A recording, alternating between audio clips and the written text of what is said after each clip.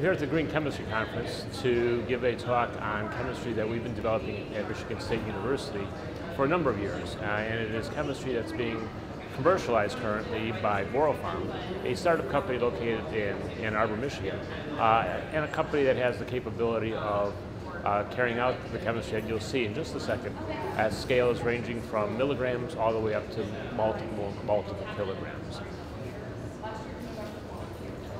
Suzuki cross-coupling reactions are an, an, incredibly important reaction to the pharmaceutical industry, agrotech, uh, the organic LED market as well.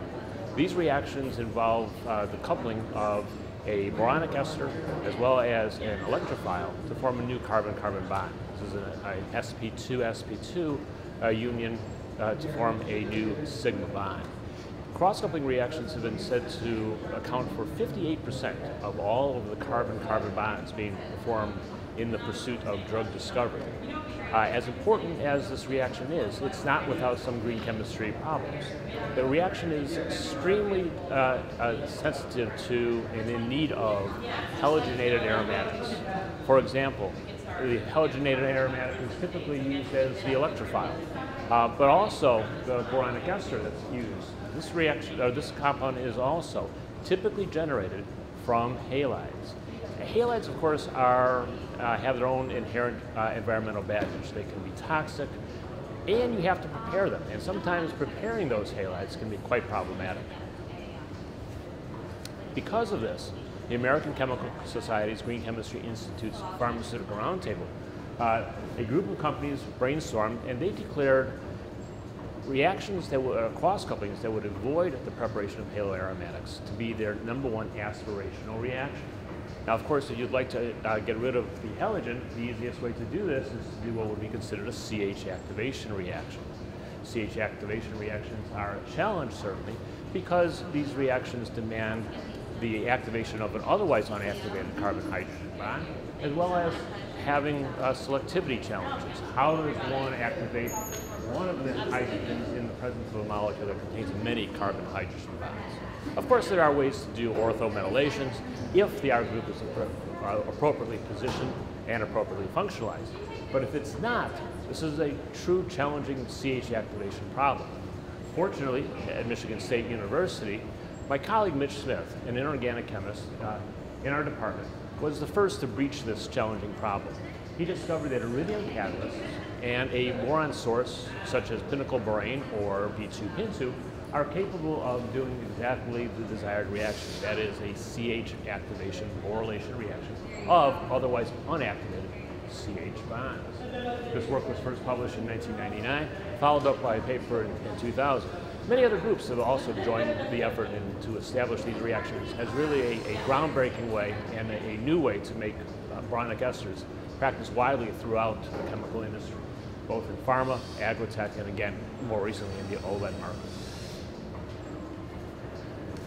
One of the keys about these reactions is that the selectivity of these reactions is, is, is exquisite.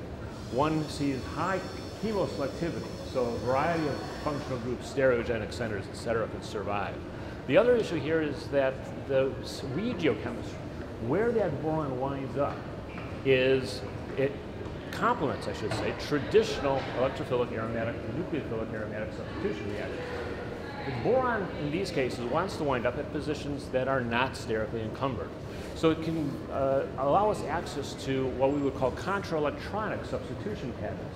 That is, the boron will wind up meta, as you see in the amino acid case, to uh, groups that are normally ortho-para-directed. This allows us to make a variety of these tri and tetra-substituted, contra-electronically substituted arenes. As was noted in a very interesting paper, a number of contra and, tri, uh, tri and tetra-substituted uh, arenes have very challenging substitution patterns, even though they can look seemingly simple.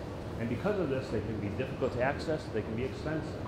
This chemistry obviates some of those challenges and makes these compounds readily available. The other thing is that the compound, the, the chemistry works very well with heterocycles. Heterocycles have a little bit more nuance when they work and where the boron winds up. But again, the key is that it often gives us access to, if you will, otherwise under traditional chemistry impossible substitution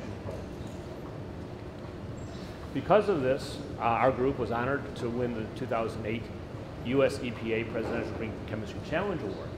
Uh, and it's a, a big an honor as this was. What was really gratifying is to see that this chemistry was also able to make its way into industry.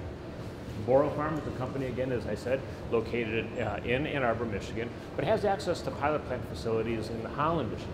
And because of this, Boropharm has been able to take this chemistry, run this chemistry on kilo upon kilo uh, scale reactions, and make some of these very challenging uh, compounds. Again, from milligrams to kilograms, Boropharm now makes, has a catalog containing over 500 of these otherwise difficult to source boronic esters and allied building blocks. And so that's the, the story today. Thank you very much.